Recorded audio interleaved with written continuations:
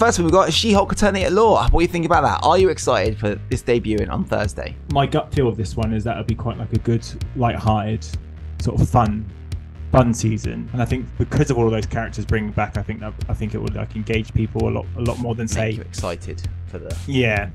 Um, I am really curious to see the role that Daredevil plays in it because I think he's also he's also got a bit of yellow in the suit as well, hasn't he? Mm. Um, I'm glad I'm glad it's going to be a bit more sort of different in terms of it being like episodic and it kind of and, and I think that that's a really easy, simple way to almost give people little kind of um, breadcrumbs about little things that might be coming Future. up.